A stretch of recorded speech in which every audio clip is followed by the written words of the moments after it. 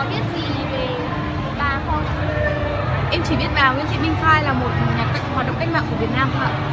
Em biết chồng bà tên là Lê Hồng Phong. Bà ấy là một người phụ rất là thi cường. ờ, ngoài ra ngoài những điều đấy ra thì các em có biết gì sâu hơn về bà không? À, em chỉ mang tên bà đấy. em chỉ biết như vậy thôi ạ. À. Em cũng vậy ạ. À, có vẻ ờ, các em biết cũng ít nhỉ? Tại vì là bọn em chưa có nhiều thời gian và cơ hội để tìm hiểu về bà hơn Nên là em biết khá là ít về bà Em có biết gì về bà Nguyễn Thị Minh Khai không? Em không biết nhiều lắm ạ. Tại sao lại thế nhỉ? Tại vì à, em cũng chưa có nhiều thời gian cũng như là cơ hội để tìm hiểu sâu hơn về cuộc đời của bà. Thế thì nhân cơ hội này chúng ta hãy cùng tìm hiểu sâu hơn về bà Nguyễn Thị Minh Khai nhé.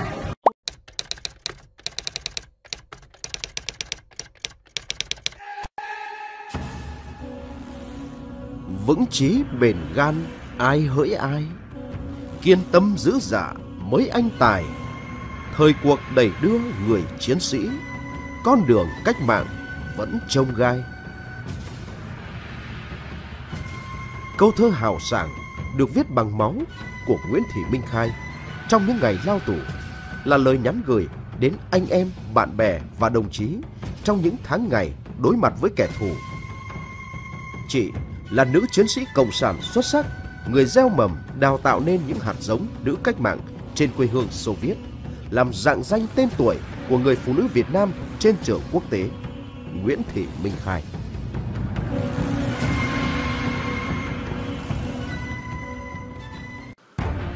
Nguyễn Thị Minh Khai sinh ngày 1 tháng 11 năm 1910 tại số nhà 132 phố Ga Cũ, xã Vĩnh Yên, nay là phường Quang Trung, thành phố Vinh, tỉnh Nghệ An trong một gia đình viên chức.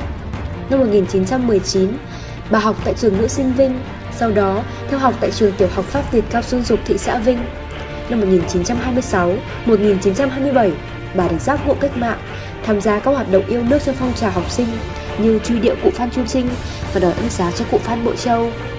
Năm 1927, bà được kết nạp vào Hội Hưng Nam, sau đó được bầu ban chỉ huy đại tổ Hưng Nam, phụ trách vận động phụ nữ. Năm 1929, bà được kết nạp vào Đông Dương Cộng sản Đảng, phụ trách công tác tuyên truyền huấn luyện đảng viên ở Vinh, Bến Thủy và vùng phụ cận. Đầu năm 1930, bà xuất dương sang Trung Quốc hoạt động, làm thư ký cho lãnh tụ Nguyễn Ái Quốc tại văn phòng chi nhánh Đông Phương Bộ của Quốc tế Cộng sản. Năm 1931, bà bị địch bắt và giam tại nhà tù Hương Cảng.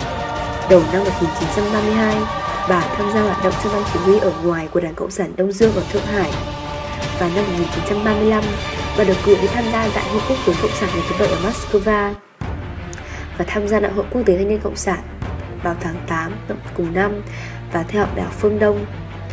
Năm 1936, vào khoảng giữa năm, bà về nước tham gia hoạt động tại xứ ủy Nam Kỳ. Năm 1939, bà được giữ chức bí thư thành ủy Sài Gòn chợ lớn. Ngày 30 tháng 7 năm 1940, bà bị thực dân Pháp bắt giam tại khảm chợ lớn Sài Gòn sau khi tham dự hội nghị xứ ủy Nam Kỳ. Ngày 25 tháng 3 đến ngày 3 tháng 4 năm 1941, bà bị tòa án bên Sài Gòn kết tội tử hình. Sáng 28 tháng 8 năm 1941, Nguyễn Thị Minh Khai đã anh dũng hy sinh tại trường bắn tại Hóc Môn Gia Định.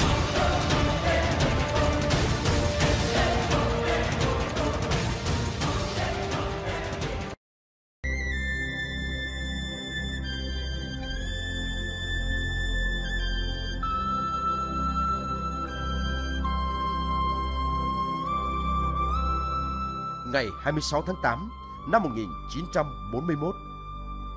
Nơi đây, ngã ba rồng thuộc huyện Hóc Môn, thành phố Hồ Chí Minh. Nguyễn Thị Minh Khai đã bị xử bắn cùng với nhiều chiến sĩ cách mạng kiên trung khác của Đảng như Nguyễn Văn Cử, Hảo Huy Tập. Trước lúc ngã xuống, chị vẫn hiên ngang trước mặt kẻ thù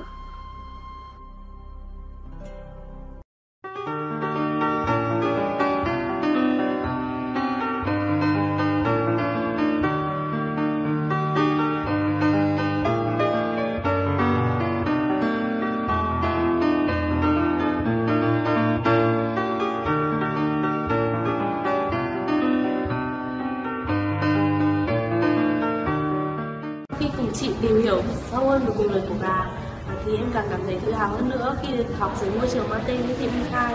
À, và cũng từ đó thì em cũng càng cảm thấy tự hào hơn nữa về truyền thống lịch sử cách mạng vẻ vang của dân tộc Việt Nam. Nguyễn Thị Minh Khai đã nằm xuống, máu của bà thấm vào đất, nhuộm xanh cho sắc trời bình yên, làm thẫm hơn sắc đỏ của lá cờ tổ quốc. Hồn vía của người con gái ấy bao bọc lấy từng cảnh vật của quê hương, hình ảnh của bà trở nên bất tử. Để tưởng nhớ đến công ơn to lớn của người nữ anh hùng ấy, hiện nay tại quận Bắc Từ Liêm, thành phố Hà Nội có một ngôi trường mang tên bà, trường Trung học phổ thông Nguyễn Thị Minh Khai. Trong suốt hơn nửa thế kỷ tồn tại và phát triển, trường đã đào tạo ra rất nhiều nhân tài. Từng lứa học sinh như được bà tiếp thêm sức mạnh mà bay cao, bay xa hơn trên đường đời. Từng ngọn cỏ, từng chiếc ghế đá, từng lớp học như đều thấm đượm ánh nhìn hiền hòa và mạnh mẽ, bất khuất, kiên cường của người con gái ấy. Bức tượng đài của bà đặt ở giữa sân trường như càng nhắc nhở chúng em hơn nữa về nhiệm vụ của mình là phải phấn đấu, rèn luyện, học tập tốt hơn để xứng đáng với tên gọi học sinh trường Trung học phổ thông Nguyễn Thị Minh